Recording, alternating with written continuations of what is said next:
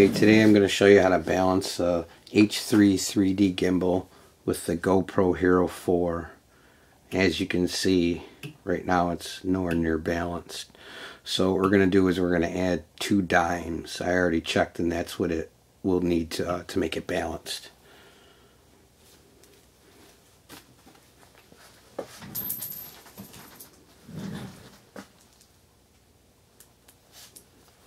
So the first thing I'm going to do is I'm going to stick two dimes together with servo tape.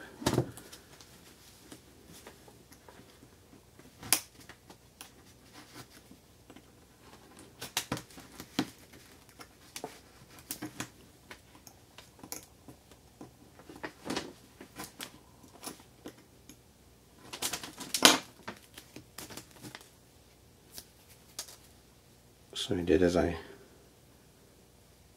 put a piece on one of the dimes.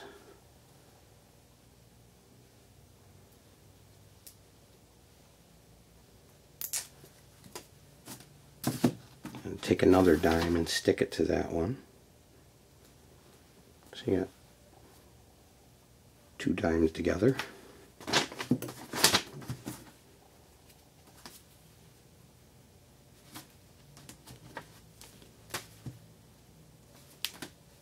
I'll take that, stick another piece of servo tape on there.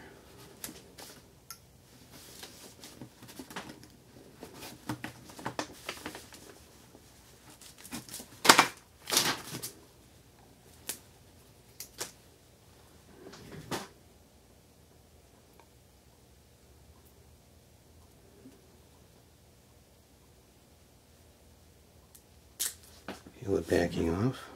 So I'll stick it. And I might have to move it side to side to get the balance right. So I'll try right there. So whatever angle I hold it at, it stays. So now I press it, stick it down, good to go. Um, I just want to note that there's no need to grind this bracket here like another dealer is mentioning um, that might void your warranty. I'll show you the buttons not pushed in. And I can go through the menus. So there's no need to grind this down. There's a video surfaced just recently showing a dealer actually grinding the gimbal down. So I would recommend not doing that.